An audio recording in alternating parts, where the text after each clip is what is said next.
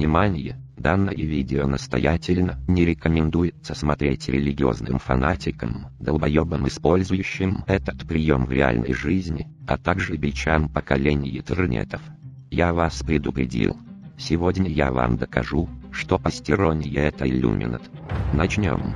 Постерония. Постерония это состояние, при котором границы серьезности и иронии оказываются размытыми.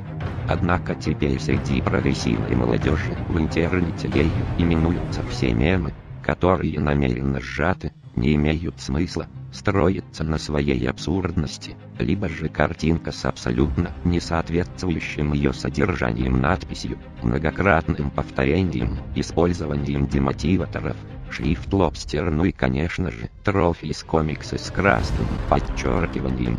Почему же эта хуйня набирает с каждым днем все больше обороты, если в действительности это было ну максимум прикольно в 2015 когда был паблик ржу. Давайте разбираться. Рассмотрим постеронию над одном из ее ярких представителей. А почему род в говне? ХМ. Довольно интересный вопрос, на который никто пока что не пытался давать ответ. Я постараюсь ответить. Возможно это вовсе не говно. По аналогии с другими мемами это может быть размазанное мороженое, ну или щетина.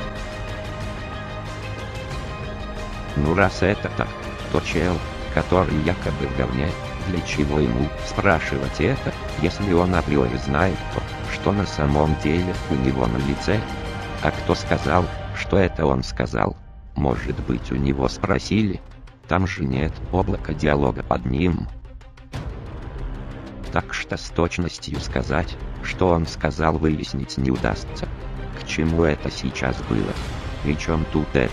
А при том, что тут замешаны иллюминаты, это достаточно очевидно. В этом меме смысл заключается в том, что это якобы говно, но никто никогда не пытался взглянуть на это под другим углом. Давайте внимательно приглядимся к этой картинке. Похоже на лицо черепашки ниндзя. Черепашки ниндзя зеленые. Иллюминаты тоже зеленые. Согласны? Согласны. Гласные. А, что происходит. Я сбился с того, что изначально хотел выяснить этим видео, но вы сами видите, насколько действие постеронии сильно.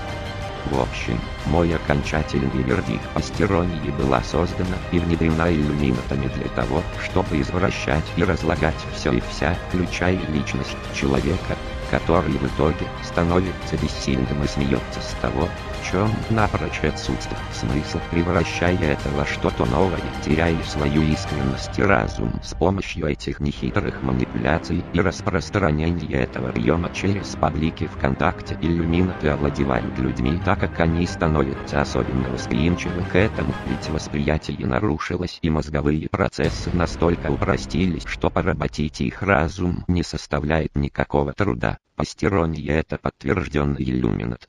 Доказано.